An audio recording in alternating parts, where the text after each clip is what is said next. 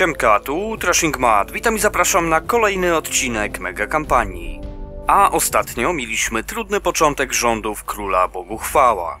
Republika Pruska uzyskała niepodległość, a bunt księcia Gerarda wykorzystali Rusini, którzy najechali na Polskę i podbili Grodno.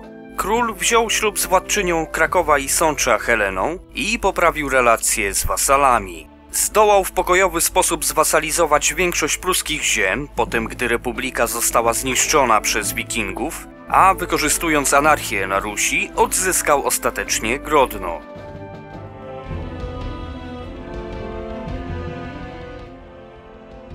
Dobra, powracamy do naszej rozgrywki. Nasz król może dokonać kolejnego rozszerzenia drużyny królewskiej. No tak więc powołuje on tutaj kolejny oddział kawalerii.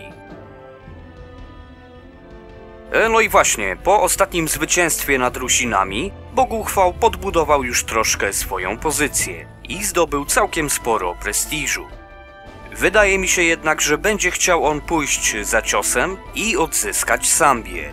A ta znajduje się obecnie w rękach niewielkiego państewka wikingów ze Skanii. No tak więc wypowiadamy tutaj wojnę niejakiemu Semundrowi, ubiegając się o nasze roszczenia de jure do tej pruskiej prowincji. No tak więc jeżeli Boguchwałowi uda się osiągnąć zwycięstwo w tej wojnie, to prowincja ta zostanie przyłączona do jego osobistej domeny. A jak pamiętacie ta jest w tej chwili doprawdy niewielka i składa się tylko z Czerska i Grodna. Dobra, wojna wypowiedziana, zwołujemy nasze wojska i kierujemy je bezpośrednio do Sambii. Mamy do dyspozycji aż 15 tysięcy ludzi, a więc zapewne dużo, dużo więcej niż wikingowie. Hmm, no z tym, że niestety Semundr wzywa na pomoc innych pogańskich wikingów. Okej, rozpoczynamy oblężenie Sambii. Ale co to? Zostaliśmy tutaj w niespodziewany sposób zaatakowani z morza. I naszą dwutysięczną armię w Gdańsku zaatakowało ponad 3000 wikingów. No ale cóż, ich atak jest nieco utrudniony, ponieważ atakują bezpośrednio ze swych łodzi. No tak więc skierujmy tutaj jak najszybciej nasze posiłki. Ale niestety te nie dotarły na czas. No i mamy tutaj porażkę, w wyniku której straciliśmy ponad tysiąc ludzi. Przybywają tutaj jednak nasze pozostałe siły, w tym drużyna królewska. I tym razem w dość druzgocący sposób wikingów pokonaliśmy. I to przy minimalnych stratach.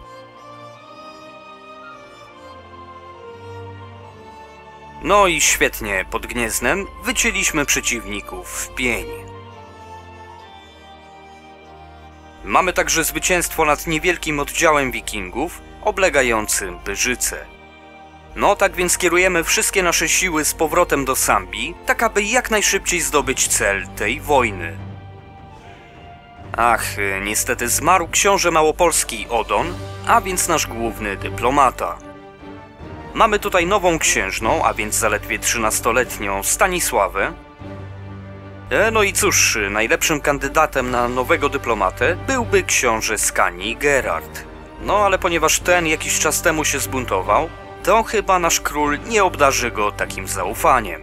I mianujemy na to stanowisko władcę Truso niejakiego Bartosza. No i na pierwszą misję wyślemy go właśnie do Sandomierza.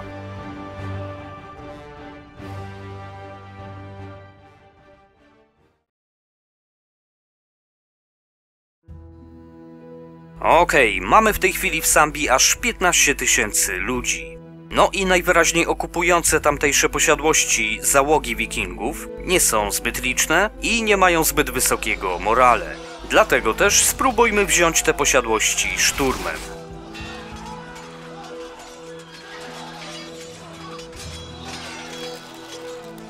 No i super, udało nam się zdobyć dwie z nich, ale już niestety w przypadku pozostałych posiadłości mamy do czynienia z nieco bardziej liczną i bardziej zdeterminowaną załogą obrońców.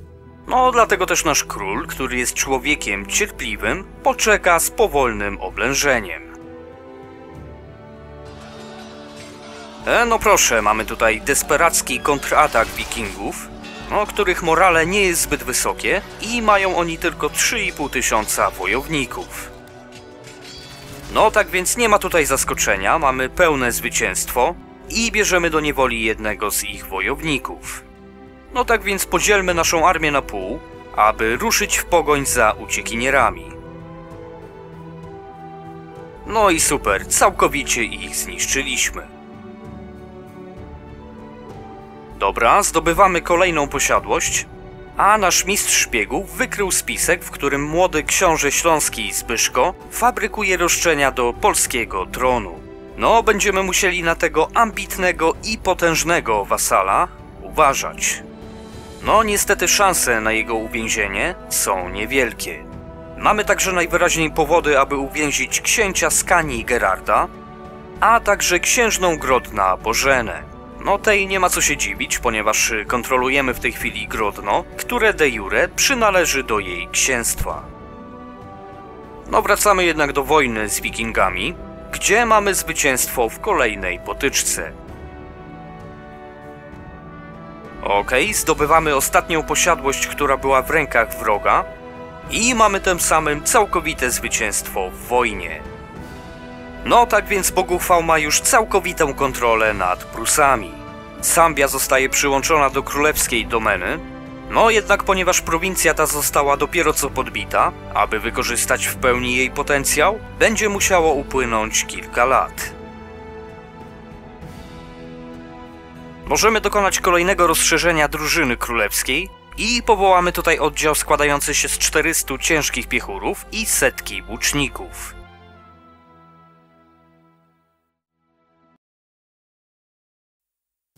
W Gdańsku pojawiła się banda łupieszczych wikingów.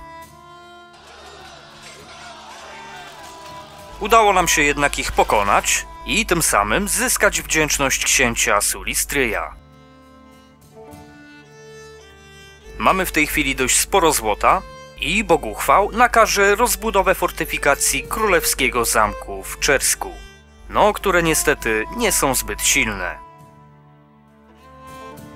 Pewna nieznajoma, zakapturzona postać wepchnęła w ręce Boguchwała jakąś tajemniczą księgę. No tak więc nasz król ruszy w pogoń za nieznajomym, nie udało mu się go jednak odnaleźć. Postanowił więc on wobec tego przestudiować tą księgę, ale po jej przeczytaniu nasz król nie odnalazł w niej nic, co by miało jakikolwiek sens. Ale pomimo tego najwyraźniej czytanie, a także próba rozszyfrowania tych chaotycznych zapisków sprawiła, że Boguchwał stał się człowiekiem uczonym. E, no i właśnie, niestety od ślubu naszego króla z Heleną minęło już kilka lat, a wciąż nie mogą się doczekać potomstwa. No i co prawda Boguchwał jest człowiekiem cierpliwym, no to jednak pomimo tego sytuacja ta na pewno go niepokoi. A niestety jego 25-letnia małżonka jest nie tylko alkoholiczką, popadła także w silny stres i paranoję. E, no cóż, tak więc nasz bezradny władca postanowi przynajmniej poprawić Helenie humor, wręczając jej bardzo hojne dary. Okej, okay, zmarł książę Pomorza Gdańskiego Sulistry, a więc nasz główny wojewoda. E, no i cóż, najlepszym dowódcą byłby tutaj książę śląski Zbyszko, no ale ponieważ ten fabrykuje roszczenia do polskiego tronu, mianujemy na to stanowisko biskupa Nowogródka, niejakiego gości wuja a nowym księciem Pomorza Gdańskiego staje się 15-letni Paweł.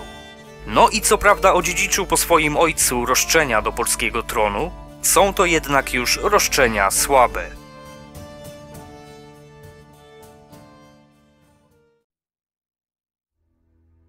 Okej, okay, naszemu królowi zapewne serce się kraja, kiedy widzi w jakim stanie jest jego małżonka i dlatego postanowi w desperacji wyruszyć na pielgrzymkę w jej intencji. E, no bo cóż, niestety Boguchwał nie ma żadnego sposobu, aby wpłynąć na królową Helenę i modlitwa do Boga jest chyba jedynym, co mu pozostało. Okej, okay, ponieważ nasz władca jest także człowiekiem pracowitym i cierpliwym, to wyruszy w nieco dalszą podróż do Rzymu. Dobra, tak więc wszystkie rzeczy spakowane i nasz król wyrusza w daleką podróż. A na czas jego nieobecności obowiązki władcy jako regent przejmuje mistrz szpiegów, a więc starosta Radomia Twardomir. Hmm, co my tu mamy? Królowi mówiono, że na szlaku tym panuje bezprawie, jednak pomimo tego Boguchwał uważa, że ma pecha. Rabusie są liczni i dobrze uzbrojeni, a aby go przepuścić, żądają zapłacenia specjalnego cła. Okej, okay, przynajmniej naszemu królowi nic się nie stało, no i nie ma on tutaj wielkiego wyboru i musi ten haracz zapłacić. Gdy król wędrował szlakiem pielgrzymów przez pewną niewielką wioskę, podeszła do niego pewna staruszka. Rozpoznała w nim pielgrzyma i wytłumaczyła, że jej córka wraz z rodziną mieszka właśnie w Rzymie. Ponoć cierpią oni w tej chwili z powodu biedy i staruszka prosi, aby Boguchwał zaniósł im sakiewkę pełną złota. Hmm, no i co nasz król miałby w tej sytuacji zrobić? Może jej odpowiedzieć, że oczywiście pomoże, może obiecać pomoc i w sekrecie dosypać do sakiewki kilka własnych monet. Może także obiecać pomoc, ale złoto zatrzymać dla siebie. Bądź też może odmówić i odpowiedzieć staruszce, że nie jest to jego sprawa. E, no i cóż, Boguchwał jest człowiekiem serdecznym i dobrego serca, jest także człowiekiem dobroczynnym. Dlatego też wybierzemy tutaj oczywiście opcję numer dwa. Okej, okay, najwyraźniej w trakcie podróży nasz król zaprzyjaźnił się także z pewnym rycerzem templariuszem. Nasz władca przybywa w końcu do Rzymu i masa licznych pielgrzymów robi na nim bardzo duże wrażenie. Aż roi się tutaj od rozmaitych języków, kolorów czy też odzień. Ludzie przybywają do Rzymu z zachodu, północy, wschodu i południa. Bogu chwał stoi w miejscu, w którym spotykają się zarówno drogi, jak i ludzie i ich idee. Okej, okay, tak więc nasz król może wykorzystać tę okazję, aby przestudiować obce języki i obyczaje, bądź też po to, aby poznać nowych ludzi. No i ponieważ jakiś czas temu Boguchwał stał się człowiekiem uczonym, wybierzemy tutaj opcję numer jeden. Dobra, tak więc pielgrzymka dobiega końca, Król powraca do kraju i szczęśliwie nic mu się w trakcie tej dalekiej podróży nie stało. Dobra, Boguchwał zbudował sobie już całkiem silną pozycję, posiada bardzo liczną królewską drużynę, powiększył królewską domenę i ma za sobą pierwsze zwycięskie wojny. Ma on także pozytywne relacje z większością wasali i wobec tego zdecyduje się na przywrócenie wysokiego autorytetu korony a dzięki temu jego wasale będą zmuszeni dostarczać mu większą ilość wojsk na wezwanie. Zapobiegnie to także dziedziczeniu polskich ziem przez władców spoza królestwa. Ale aby nowe prawo przeszło, musi ono zdobyć przynajmniej połowę głosów. A niestety sam król posiada ich tylko 13 spośród 67. Dobra, uzyskał on wsparcie księcia biskupa Hełmna Wiesława, a także oczywiście królowej Heleny. No i świetnie, wkrótce potem propozycja uzyskuje wymaganą ilość głosów i wysoki autorytet korony zostaje tym samym przywrócony. No troszkę na tym ucierpią relacje z wasalami, ale poza bratem naszego króla, a więc obalonym Gieroltem II, są one cały czas pozytywne. No i właśnie, naszego dyplomatę skierujemy w tej chwili do Gdańska, aby poprawił nasze relacje z młodym księciem Pawłem. E, no i proszę, czyżby pielgrzymka pomogła? No, ponieważ dokładnie w Wigilię Świąt Bożego Narodzenia królowa Helena odkryła, że spodziewa się dziecka.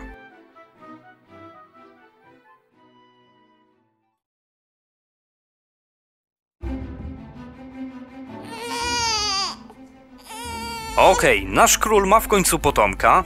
Nie jest to jednak syn, a córka imieniem Zwinisława, która staje się jego dziedziczką. E, no i proszę, zniknęło właśnie bardzo groźne wewnętrzne zagrożenie dla rządów naszego króla. A mowa tutaj oczywiście o jego obalonym bracie, Gierolcie II, który najwyraźniej zmarł. E, no i cóż, zmarł on w jakimś podejrzanym wypadku. No i wszystko wskazuje tutaj na jego syna Pawła III i jego podstępną małżonkę. A Paweł nie jest już tak wielkim zagrożeniem dla króla, ponieważ co prawda odziedziczył roszczenia do polskiego tronu, są to jednak roszczenia słabe. Okej, także to tyle na dzisiaj. Dzięki za oglądanie i zapraszam na kolejne odcinki już wkrótce.